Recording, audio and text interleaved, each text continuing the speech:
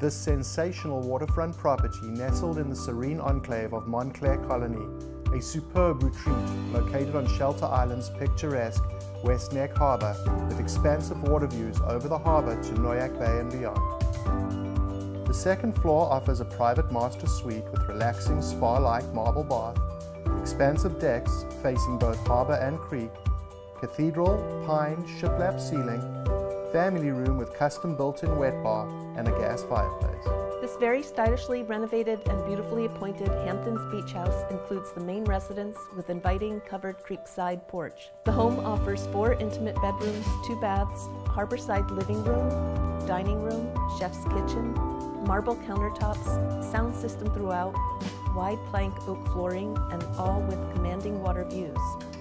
Private dock and mooring allows for boat, kayak, paddleboard, and water sports in calm protected waters.